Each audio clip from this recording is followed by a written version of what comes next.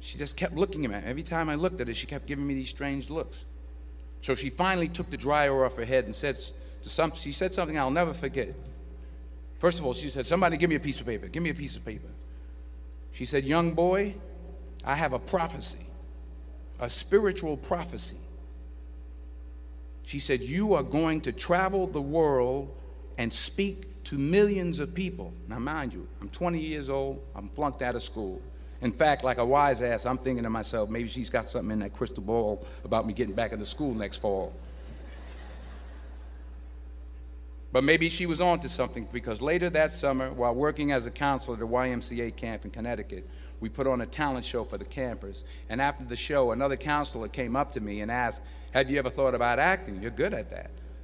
So when I got back to Fordham that fall, I got in and I changed my major once again for the last time. And in the years that followed, just as that woman prophesied, I have traveled the world and I have spoken to millions of people through my movies. Millions who, up till this day, couldn't see me. I, who, who, up till this day, I couldn't see while I was talking to them, and they couldn't see me. They could only see the movie.